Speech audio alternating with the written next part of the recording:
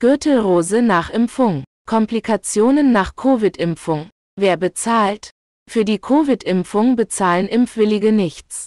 Bei Komplikationen nach der Impfung ist es anders. Drei Wochen nach der ersten Impfung taucht bei einem 52-jährigen Aargauer plötzlich ein seltsamer Ausschlag auf, der rechtzeitig den ganzen Oberkörper bedeckt. Die Schmerzen sind heftig, also meldet er sich bei seinem Arzt. Die Diagnose, Gürtelrose. Man hat das Gefühl, man verbrennt fast. 5. Januar 2021, BioNTech und Pfizer entwickeln Impfstoff gegen Gürtelrose.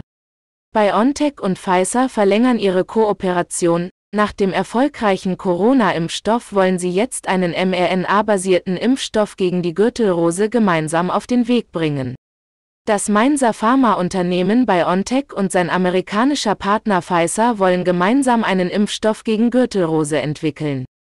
Es soll das erste derartige Vakzin auf Basis der mRNA-Technik werden, die auch bei dem Corona-Impfstoff angewendet wurde, wie beide Unternehmen am Mittwoch mitteilten. Die klinischen Studien sollen in der zweiten Hälfte dieses Jahres beginnen.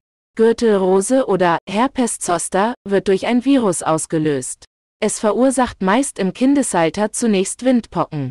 Nach dem Abklingen bleibt das Virus aber lebenslang in den Nervenzellen und kann zu einem späteren Zeitpunkt eine Gürtelrose verursachen. Typisch dafür ist ein brennender Schmerz, gefolgt von einer zumeist halbseitigen, bandartigen Ausbreitung von Bläschen auf der Haut.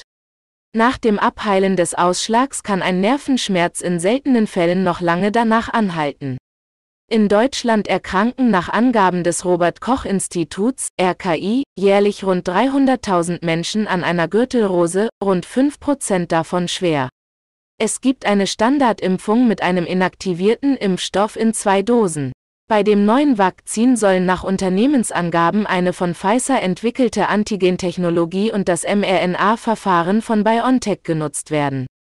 Die Entwicklungskosten wollen sich die beiden Unternehmen ebenso teilen wie die Bruttogewinne aus künftigen Produktverkäufen.